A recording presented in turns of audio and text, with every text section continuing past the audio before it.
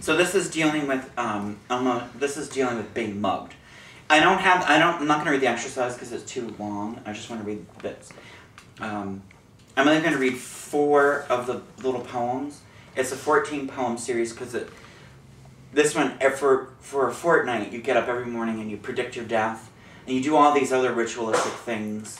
Um, but so each one of these pieces starts off with a prediction of my death, like when, how it's going to happen, and when exactly. By choking in 11 years, 4 months, 2 weeks, 6 days, 12, 18 p.m. When I win the lottery, I want my legs amputated and two beautiful peg legs, wooden of course. Frank Sherlock says it's a very bad idea.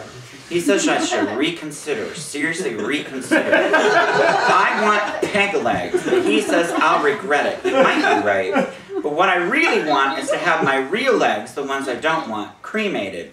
Because what I really want is to scatter my own ashes. I thought about getting liposuction and having the fat cremated, but it's not the same because I can eat more delicious donuts and grow it back. It doesn't count. It has to be something missing for good, you know. But to spread my own ashes is something I love thinking about and the cheerful sound of my peg legs on Philadelphia sidewalks.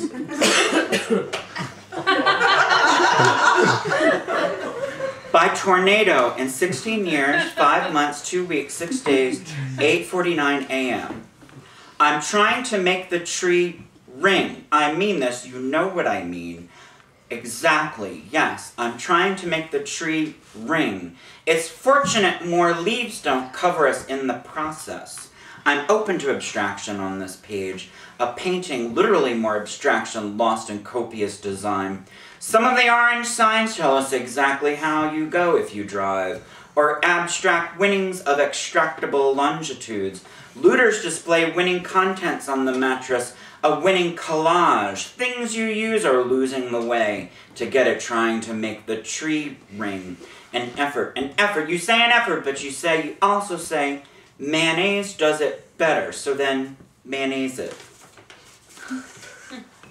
by bludgeoning in four years, ten months, one week, one day, 6.22 a.m.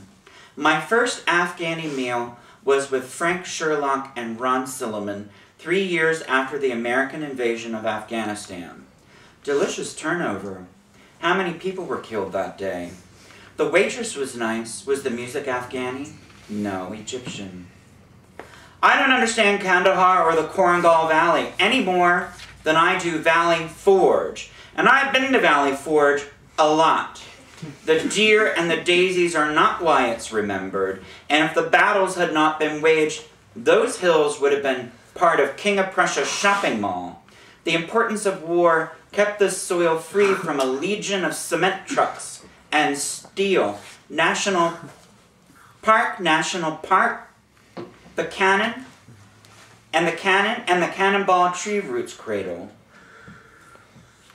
By electrocution. Oh wait, is that the right one? Oh, I didn't bring the right one. Wait a minute. Oh no, this is it.